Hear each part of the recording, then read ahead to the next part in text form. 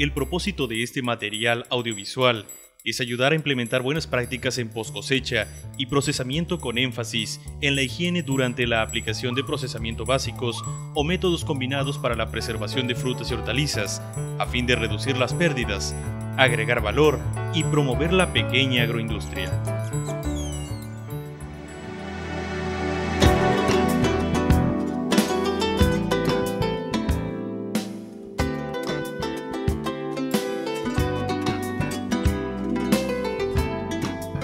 Las frutas y hortalizas frescas, de una u otra manera, presentan un riesgo de contaminación durante su cultivo y cosecha. Es necesario detectar posibles fuentes de contaminación del agua de riego, tales como desechos fecales, de granjas y basureros, así como aguas residuales. Los microorganismos patógenos causados por estas fuentes, como el caso de la E. coli, pueden ser controlados con el uso de cloro. Entre los factores agronómicos que hay que tomar en cuenta para determinar el nivel de riesgo de contaminación de una fruta u hortaliza se encuentran calidad del agua de fumigación y limpieza, aplicación adecuada de plaguicidas,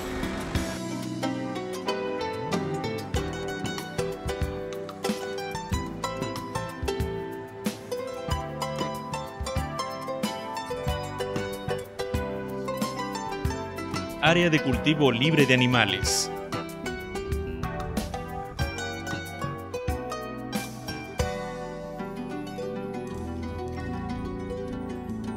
Eh, sí, las prácticas agrícolas son las recomendadas porque son, es lo primordial, la base para la preparación de lo que es el suelo. Hay que tener un buen drenaje, eh, el área, las áreas de cultura, o sea, lo que son trabajos como métodos de siembra, eh, la selección de las variedades, el manejo del agua, la fertilización y claro, el control de maleza, eh, este, son base en, lo que es el, cultivo, lo que es la planta, ya que se, requiere para tener una buena producción, un buen producto.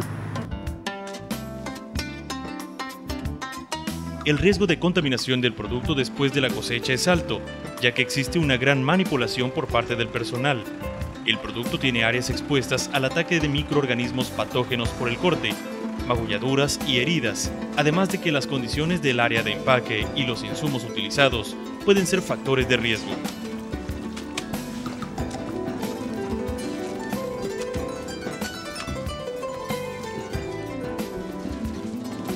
La empacadora es la casa del proceso y como toda casa, se requieren de cuidados en el mantenimiento de las instalaciones, estar libre de basuras y escombros, estar hecha de materiales no tóxicos para sus habitantes. En una empacadora de frutas y hortalizas se realizan tres operaciones básicas, aunque pueden ser más. Estas son recepción de productos, enfriamiento, lavado, desinfección y empacado a su vez, los riesgos de contaminación asociados son de tres tipos, mecánicos, químicos y biológicos. Podemos resaltar que los riesgos biológicos comprenden la sanidad e higiene inadecuada de los trabajadores, que a su vez contaminan con microorganismos patógenos los alimentos. Como riesgos mecánicos, la presencia de objetos extraños en el equipo, como piedras, clavos, vidrio, plásticos, maderas y objetos personales, como anillos, pasadores, etc. Entre los ruidos químicos consideramos la presencia de sustancias tóxicas en la línea de producción, tales como raticidas, insecticidas, etc. En todos los equipos de transporte se deben comprobar los siguientes aspectos. La limpieza, las paredes, pisos, puertas y techos no deben estar dañados. La regulación de la temperatura, si es que se cuenta con un dispositivo de refrigeración, deberá asegurar una temperatura uniforme para los productos. Una carga de productos puede dañarse por olores provenientes de envíos anteriores o cargas incompatibles, residuos tóxicos de sustancias químicas, insectos que aniden en el equipo, restos de productos agrícolas en mal estado, desperdicios que obstruyan los orificios de drenaje y de circulación del aire situados en el suelo. El cloro se usa en diferentes concentraciones, dependiendo del tipo de producto que se va a desinfectar. Se usan en concentraciones de 100, 200 y 500 partes por millón. Por ejemplo, para producir 5 litros de una solución a 100 partes por millón, utilizamos 14 mililitros de cloro al 3.5% y bien de 4 mililitros al cloro al 12%. Para probar volúmenes más altos, los cuales son utilizados en las empacadoras de frutas y hortalizas, como son 200 litros, utilizaríamos 571 mililitros de cloro al 3.5% o bien 166 mililitros de cloro al 12%. Para otro tipo de, frutas o hortalizas, como serían eh, la fresa, se usan concentraciones de 500 partes por millón.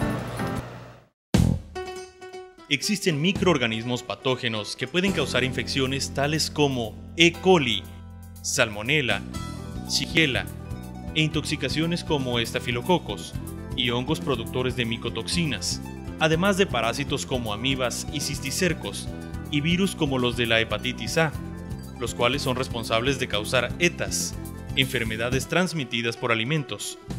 Una forma de controlar estos microorganismos es mediante las buenas prácticas de higiene.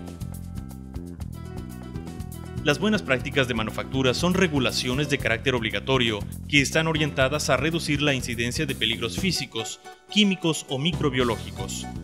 Dentro de estas regulaciones o controles se pueden encontrar las siguientes. Que el personal se encuentre saludable. Hacer énfasis en limpieza y aseo personal. Es importante evitar malas prácticas de higiene en el manejo de las frutas y hortalizas. Se debe portar la indumentaria adecuada según el área de trabajo. Prohibido comer durante el proceso. Prohibido fumar. Evitar la contaminación cruzada, la cual se lleva a cabo cuando frutas u hortalizas contaminadas se mezclan con productos limpios en el mismo sitio de proceso. Se deben mantener las puertas cerradas, hay que lavar y desinfectar guantes previo lavado de manos. Es importante que el personal esté capacitado y experimentado en técnicas de manipulación de alimentos. Los programas de higiene deben ser parte integral del proceso. Se deben de tomar medidas efectivas para el control de plagas en las áreas de proceso. Los plaguicidas utilizados deben estar aprobados por las autoridades sanitarias.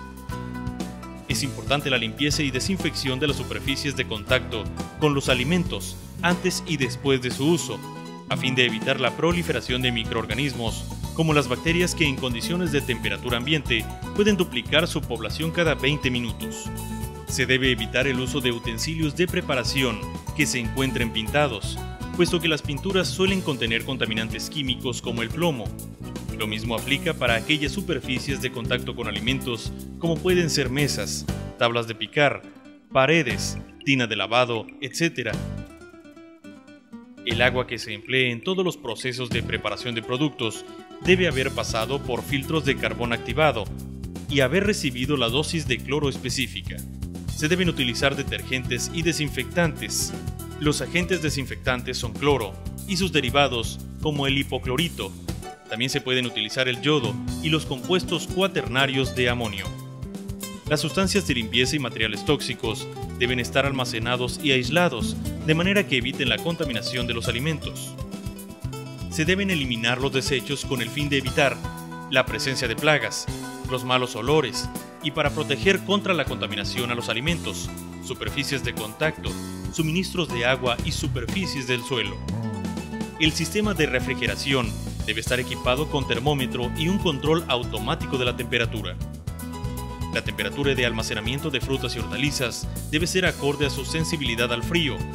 Así, se pueden almacenar entre 10 y 15 grados centígrados y entre 1 y 10 grados centígrados frutas y hortalizas en condiciones de humedad relativa y temperatura que permitan una vida de almacenamiento con la calidad deseada. La comercialización de frutas y hortalizas se lleva a cabo en los mercados públicos y supermercados, donde se ofrecen como productos enteros o semiprocesados en envases listos para su consumo,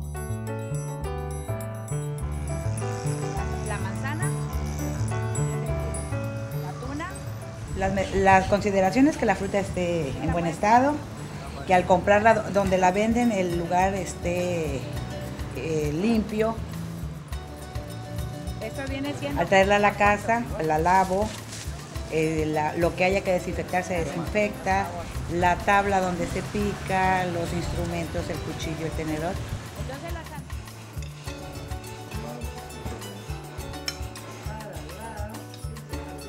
Y le pongo, si es el cloro, cuatro gotas por litro y si es el de marca comercial, lo que eh, indique la, la etiqueta.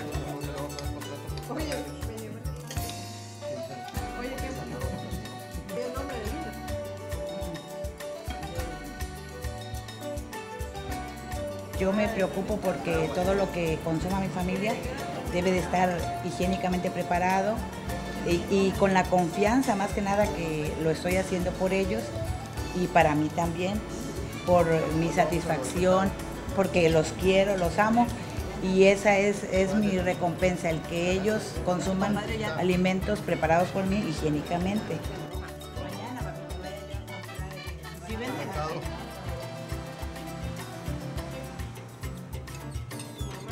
Las buenas prácticas agrícolas y de manufactura para las frutas y hortalizas nos asegurarán la protección de la higiene, la salud humana y el medio ambiente mediante métodos ecológicamente seguros, orientados a la exportación, a los pequeños productores y a la agricultura familiar.